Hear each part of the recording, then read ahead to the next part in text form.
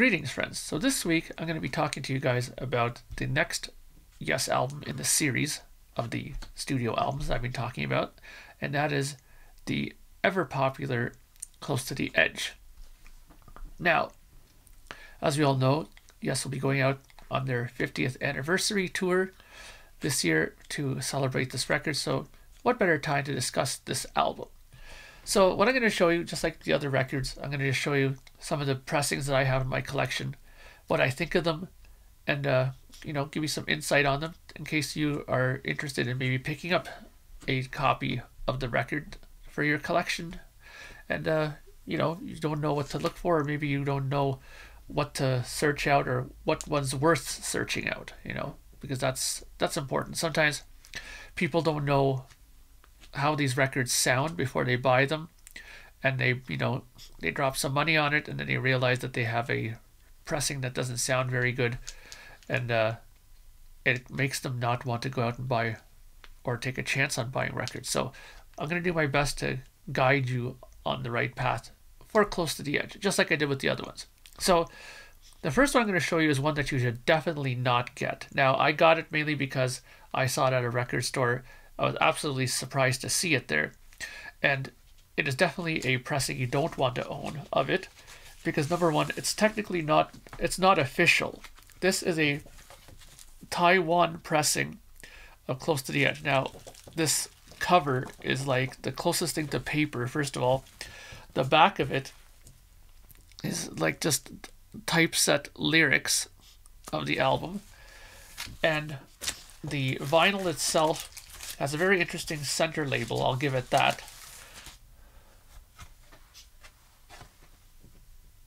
As you can see there. But the sound of this record is is not good. I mean, it's not like, you know, that's not like nails down a chalkboard or anything like that, but it definitely isn't anything that a person who wants a you know a decent listening experience would want to drop money on. Uh, the the rumor behind these sorts of pressings, the Taiwan pressings, is that uh, the military that was stationed overseas sometimes were complaining that they wanted to get pressings of American or British bands, and uh, they just found ways to bring over stampers from either America or from the UK and gave them to certain pressing plants in the region. I don't know if it's in Taiwan or maybe in some of the, some of the nearby countries. Uh, but they pressed them, and usually these stampers were pretty used up. They were not anything like they weren't like in great condition. So these uh, these versions of it really show that they were pretty weak. So avoid the Taiwan pressing at all costs. Now, a pressing that you might want to seriously consider getting, because this is one that sounds excellent in my opinion, and I, I've listened to all of these, some of them numerous times, and this is one of them that I was very happy to get, so I listened to it numerous times. This here is an American pressing of, yeah, this is an American pressing of Close to the Edge. Okay, now at the bottom, you may not be able to see it too well, but it says uh, manufactured by Atlantic Records uh, 1841 Broadway, New York, New York. That's usually a dead giveaway that this is a first US pressing. Now, what makes this record excellent is not only is it, you know, uh, you know, done on decent vinyl, it's also been mastered and lacquered by George Piros, who's a fantastic uh, lacquer cutter. A lot of his a lot of his work is sought after not only for Yes stuff, but for like Led Zeppelin, like Led Zeppelin one, if you can find a George Piros kind of Led Zeppelin one, you have a really excellent sounding, you know, version of that record. But this is one that you should definitely seek out. It's the first pressing of it, a first U.S. pressing. The catalog number would be SD seven two four four. And again, that's the the labeled here side two. I believe I showed you side one a minute ago, so there's side two. Just look for that catalog number and also look for the manufactured at the uh, that address at the bottom 1841 Broadway that is the dead giveaway of this uh, version of the record. And I've listened to it numerous times and it sounds fantastic. Very full, very good bass, very good top end. The stereo spectrum of it is really nicely done. Uh, highly recommended. Now, a pressing that most people will probably say should be high on the list, and I'm going to say yes and no. And let me explain to you. So this here, and I'll just get my information up. This is easy to find because you'll see why in a minute. This is a 1972 pressing close to the edge. This is a Japanese pressing. I believe it might be a first pressing. I'm not 100% certain of that. But these ones okay, first of all, let's put it this way. The covers are fantastic. They're like books. They're hard, really good material, excellent covers. The OBIs are very nice. And inside it, you have the proper artwork and everything. I'll show you that in a second, but I'll show you another thing that's really neat about it in a minute. Oops. Uh, there you go. Sorry about that.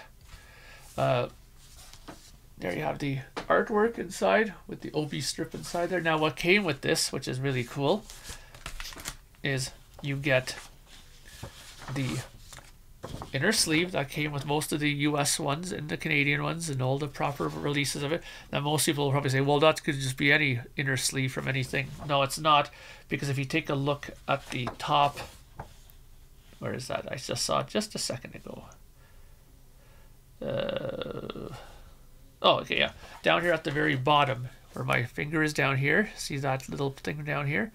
That is the the uh, catalog number of the record, which is, if I can just find, yeah, it's P8274A. Now, that's right on here. So this is a one that comes with the Japanese pressing. And also with the Japanese pressings comes these Japanese inserts as well, which are really cool to have. So this is one that goes with close to the edge. The lyrics are in here as well in Japanese. So it's a very neat pressing. Uh, the the album though is this is where I kind of say yes and no, because while the album sounds really nice and dead quiet, it's done on really nice vinyl. It looks really nice. Oops, almost dropped it there. It looks really nice. It's in great condition. Japanese collectors are known to keep their records in excellent condition. So if you buy Japanese, never be afraid that you're going to get a scratched up or marked up record. That's hardly ever the case. But because they do their own sort of mastering EQ job on these pressings, they they tend to have much less bottom end than the normal UK or American pressing for this record. So beware of that. The audio quality of this while good and quiet and stuff like that, it is not the same fidelity that we get in the UK or in America or in Canada. So beware of that pressing. Now, another interesting pressing to get, and I'm guessing I'm going to say that this is one for people who are die-hard collectors. This is a 1974 Czechoslovakian pressing of Close to the Edge. Notice the changing of the name in Slovak lang in the Czech or Czechoslovakian language.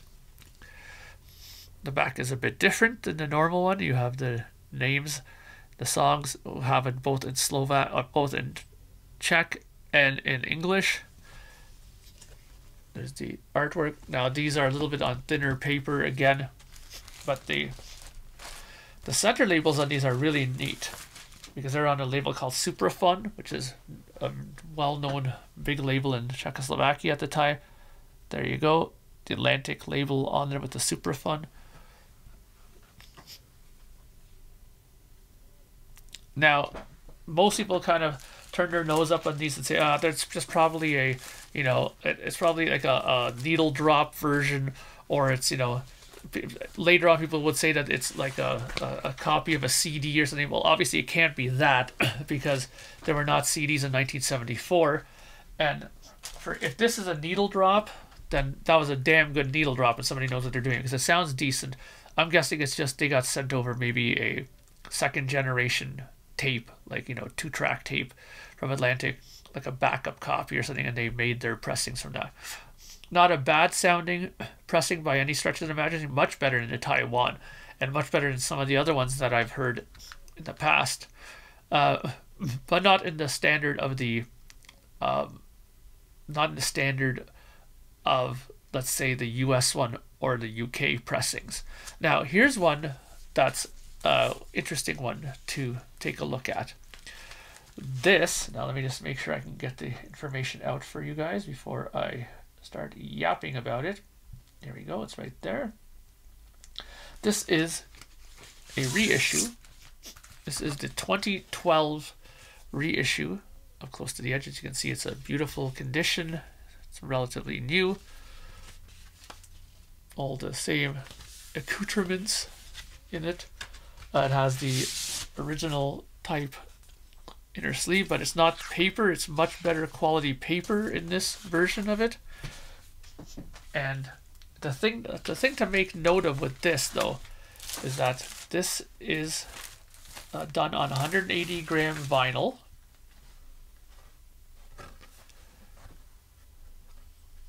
As you can see there, nicely done, beautiful labels.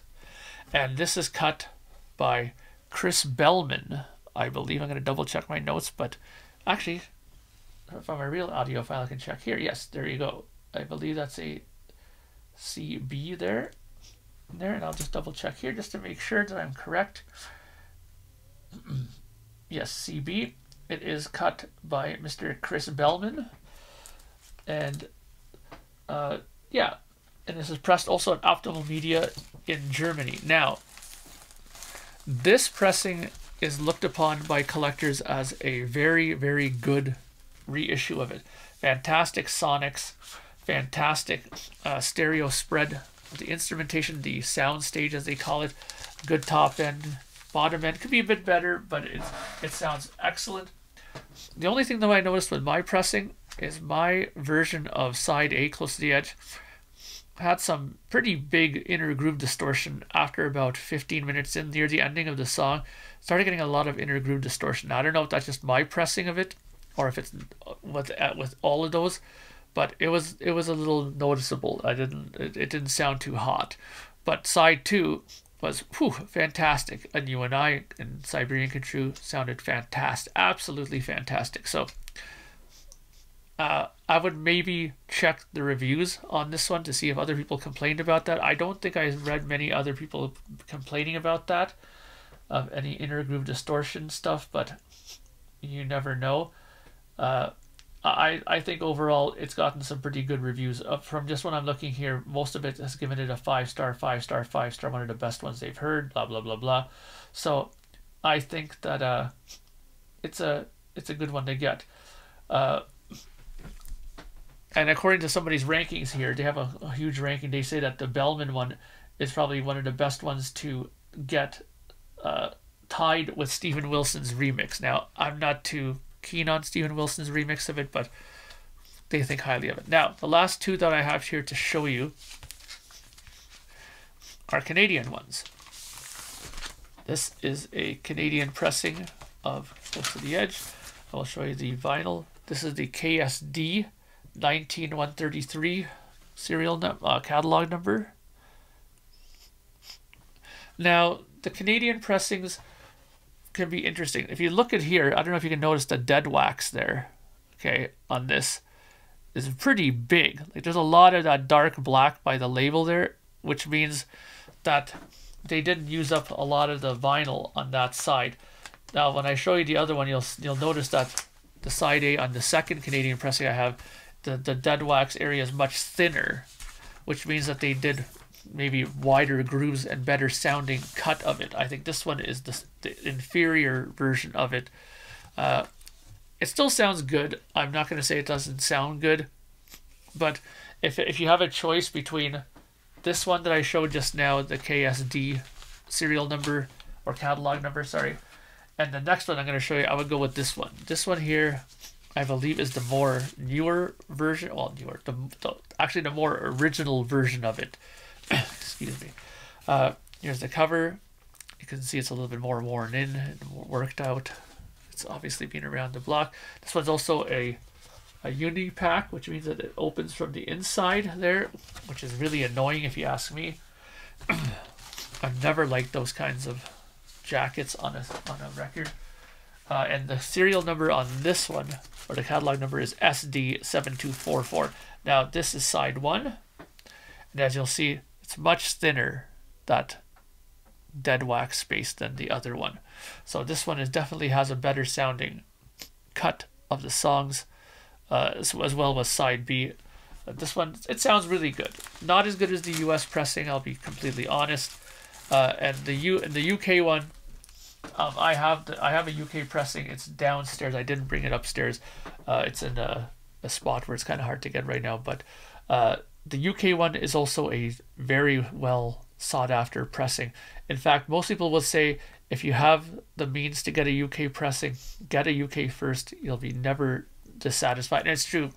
I have a UK first of Fragile, of Close to the Edge, uh, and a few other uh, records. I believe I also have a first pressing of Going for the One. All sound magnificent. Uh, but also, a good one to also keep in mind too is uh, never look past the German pressings. The German pressings sound really good.